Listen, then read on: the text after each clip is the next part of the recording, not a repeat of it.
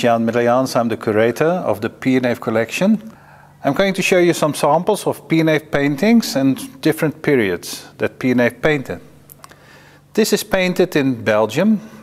It's one of the, the entrances in Bruges and it was used as a fortress in the old days. Pierneef uh, saw the beauty of the, of the painting, of the, of the scene, and he started to paint it.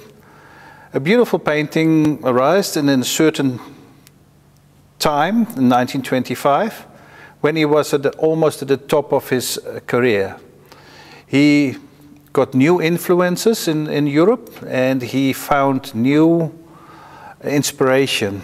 He missed the, the colors of South Africa and it's a little bit, the other paintings from Europe are a little bit more dull. This is more colorful for one of the European paintings. This is a much later work of Pierneef. It's painted in 1942.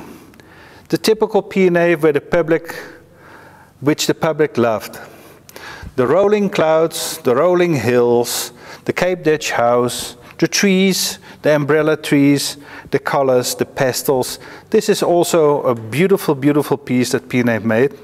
The very fine detail that Pierneef painted in, in the windows, in the doors, in the fine details that he made in this Cape Dutch house, are exquisite. It's very beautiful. The pinks that he used, the red, the red that he mixed with ochres, it's a very lovely painting to look at.